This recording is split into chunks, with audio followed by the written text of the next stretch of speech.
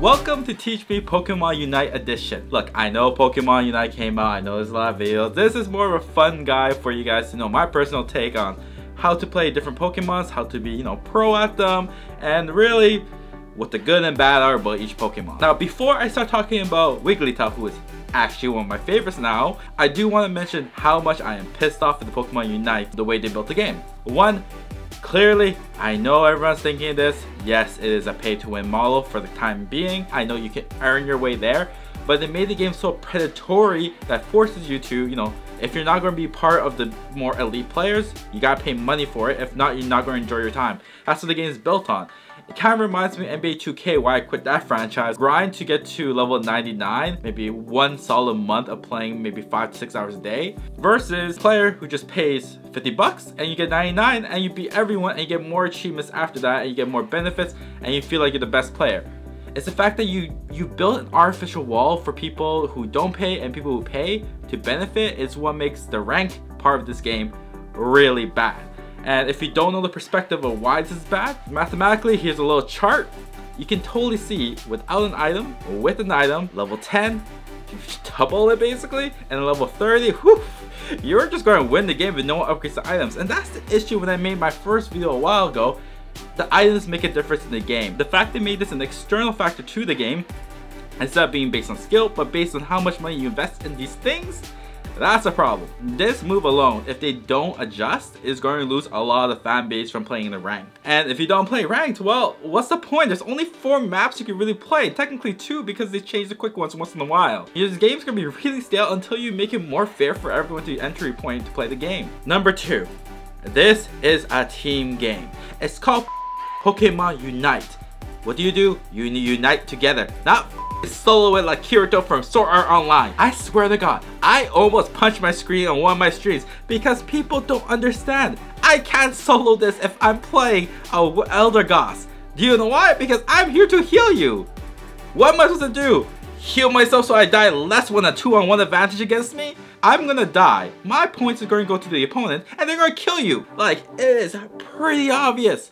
If I'm gonna play as support, if I'm playing, you wanna play as a team. Don't solo it. And number three, this is the reason why I'm really upset is there's a limit to how much money you can make in Aeos coins in the game, which is 2100 currently right now per week.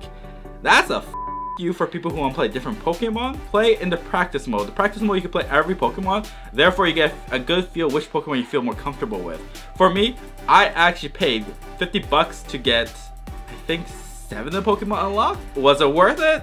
No, I wish I knew about the practice part. Do I regret it? Yes. But for YouTube, this is for you guys to know I regret. Also, I did Battle Pass 2. I also regret on that. That's a complete different story. Anyways, we are talking about the puff. The jiggly wiggly puff. Tough. So right now I use Unite DB, which is a great website for Pokemon Unite to know what kind of build you want, what kind of items available, what kind of Pokemon you play. So far, the official notes are Wigglytuff as a supporter. The weirdest thing is, I have not used it as a support. I've honestly used it as a death machine more, which is why none of these labels really make sense to me. There's two ways to play Wigglytuff. You're here to make everyone fall asleep and slap them to wake up, or you're here for the kill. That is literally the different ways you play Wigglytuff. I still don't get this rating since the support is 9. I really never have supported people. Also, Pokemon Unite DB, there's tier list. Some reason, Mr. Mime is a D. Do not trust this list. Mr. Mime is actually A-type, and I will readjust that list later on in the later months. So the ability Cute Charm, if a Pokemon that's a physical attacker touches it, it kind of stops and doesn't want to attack. That's not a big deal, it just means physical attackers slow down their attacks. The base attack, every three attacks, the third one just does a little bit more damage.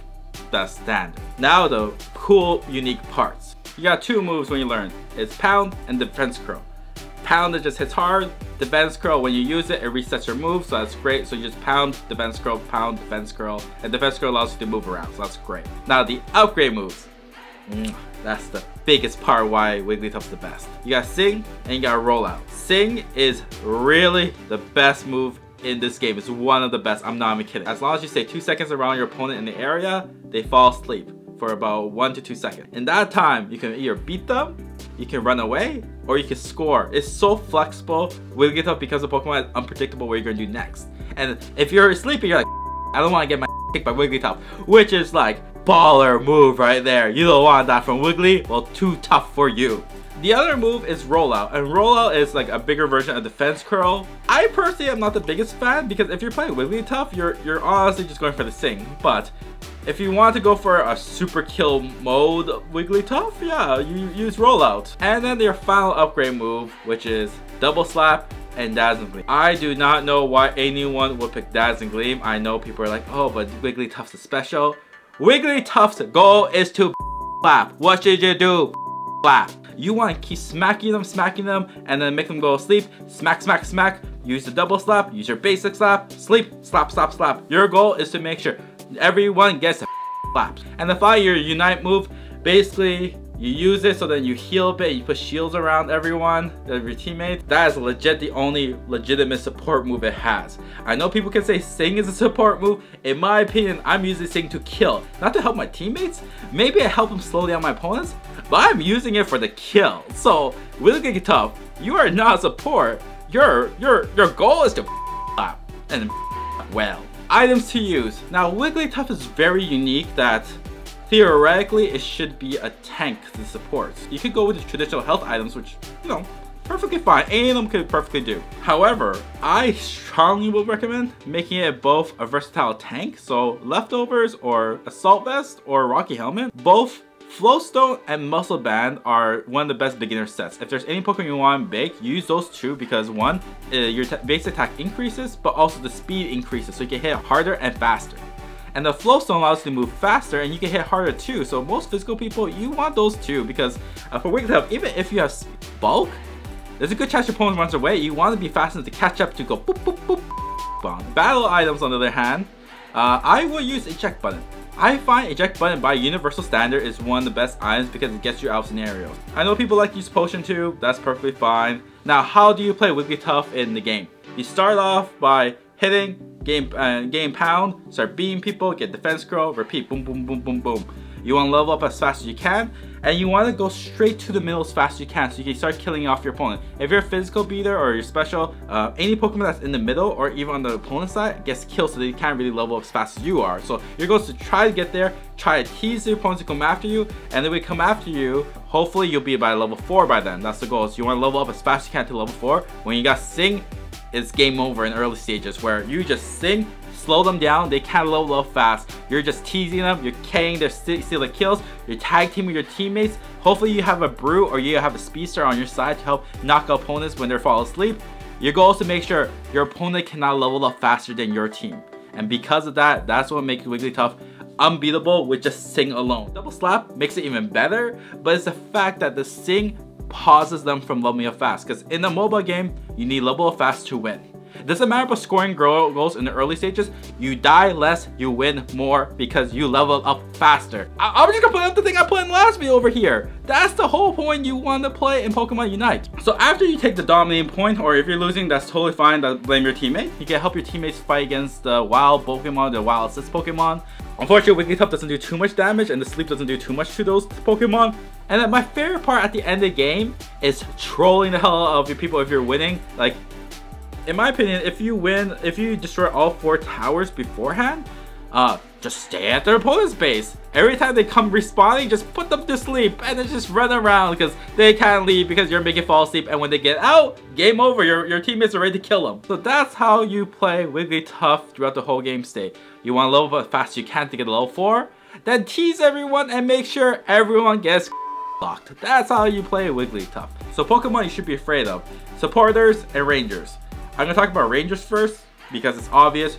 Rangers who can hit far, cause status on you. Your goal is to sleep them, but if they keep going further away and keep attacking you, it's really hard for you to take advantage of Wigglytuff. That's why you want to scope out the brute Pokemon and make sure that you become the wall against them. Supporters on the other hand, it's kind of stalemate.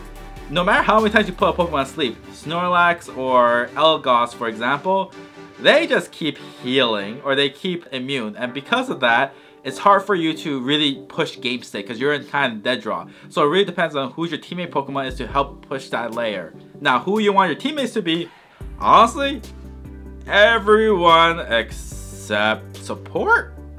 Like, support's fine, it's just, a tank will love you because they can finally hit people without them running away. A ranger will love you because if you fall asleep and you keep hitting them and they run away, they can get them. And a speedster will finish off the job. So everyone loves a Wigglytuff.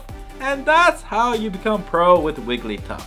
Now, I was shocked when I played Wigglytuff because I was like, this, this can't be a good Pokemon. It's a support.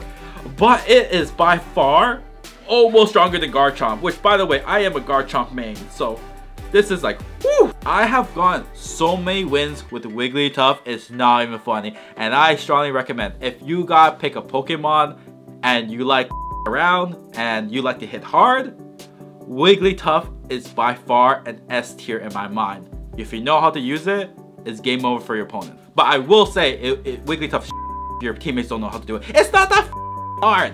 Your goal is to unite. Play together, don't play solo. If I die, you're all So support your Wigglytuffs if you play online. I know it's a kid's game. Kids, learn teamwork. Anyways, play Wigglytuff. Play in practice, you're gonna love it. And trust me, it is S tier in my mind. If you like these kinds of videos, like, comment, tell me what's the next Pokemon you want to see. Obviously, my next video is to be about Mr. Mime because I gotta show the United Database people is a A, if not an S tier too, because legit is one of the funnest Pokemon to play. But trust me, go play Wigglytuff and do the Wiggly Pop.